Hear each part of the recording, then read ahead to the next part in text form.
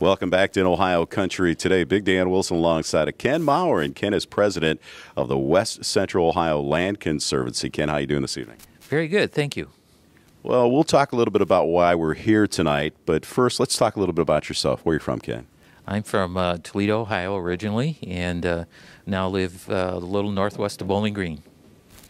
Uh, tell us about your background too. Okay, well, um, I've uh, done a lot of things uh, in my career. Uh, environmental management. Uh, I went to law school at night while I was uh, doing that, and um, now then did environmental law, and eventually that led me to some agricultural law as well. Well, you know, of course, our focus on in Ohio Country today is all about the environment, all about the land, all about agriculture. So you're crossing all the T's and dotting all the I's for our audience is concerned. So let's talk about your position here at the West Central Ohio Land Conservancy, and let's also talk about uh, that mission. Okay. Well, um, I'm the uh, the president of the board of trustees or board of directors, I guess I should say, for West Central Ohio Land Conservancy. Only been in that position for not quite a year, uh, but I've been on the board since 2014. And um, our mission is to help preserve land, natural areas, and agricultural land um, in Ohio, uh, primarily through the use of what are called conservation easements. How does this differ from conservation programs that are sponsored for and by the uh, Farm Service Agency and the Ohio Department of Agriculture and NRCS? Okay. Well, we we actually do use um, some funding from the Ohio Department of Agriculture through what's called the uh, local ag easement purchase program. Um, we also have utilized funds from NRCS for um, funding easements. And then the third mechanism is private easements, as it's called, which are donated by individuals uh, without any reimbursement.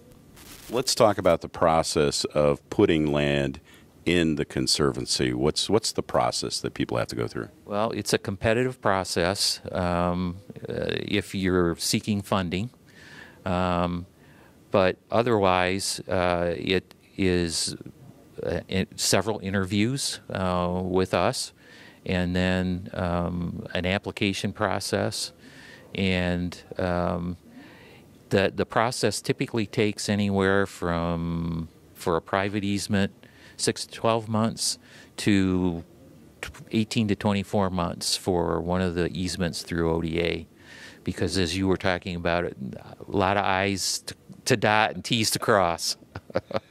Basically, let's talk about the land itself, the purpose of putting it in the conservancy, and the benefits that the public as well as the landowners can achieve from that. Okay.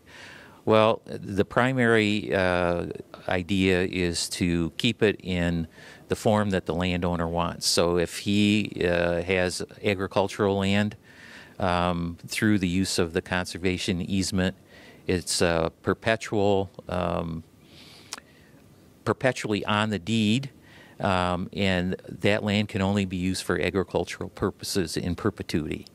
Uh, it prevents it from being developed for housing or other types of things. And some people find that to be a good thing, and others might find it to be detrimental.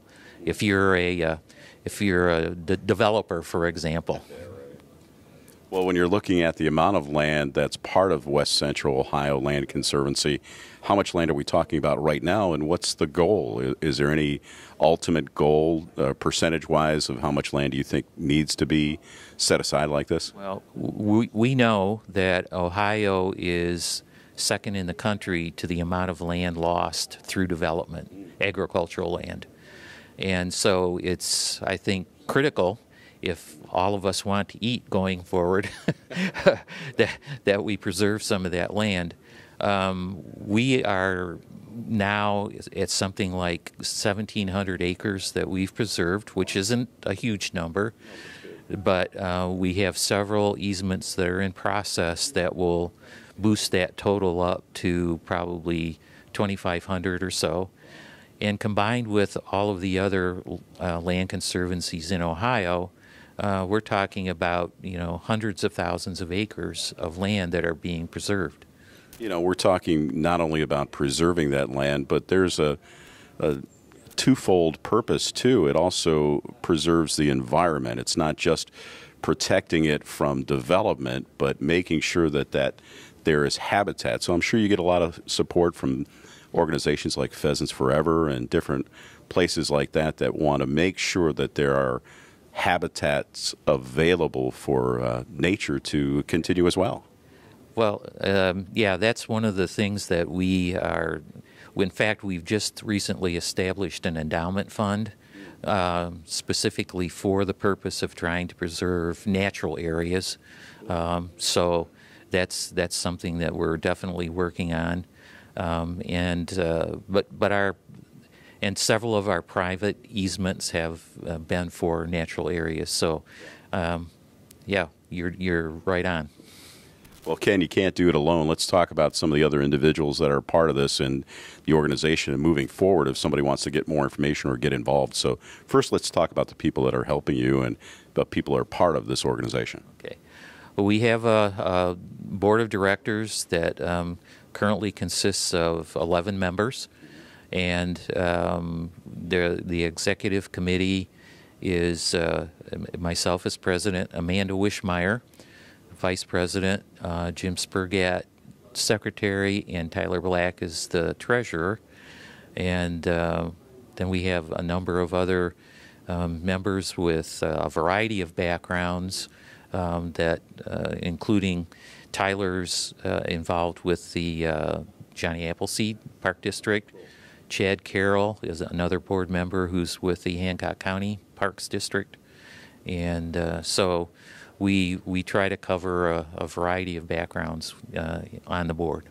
Well, that's important too. You know, to have those synergies, those like minds of those organizations and individuals from those organizations to be a part of this and to move it forward. How many uh, counties and what are the counties that are involved in this?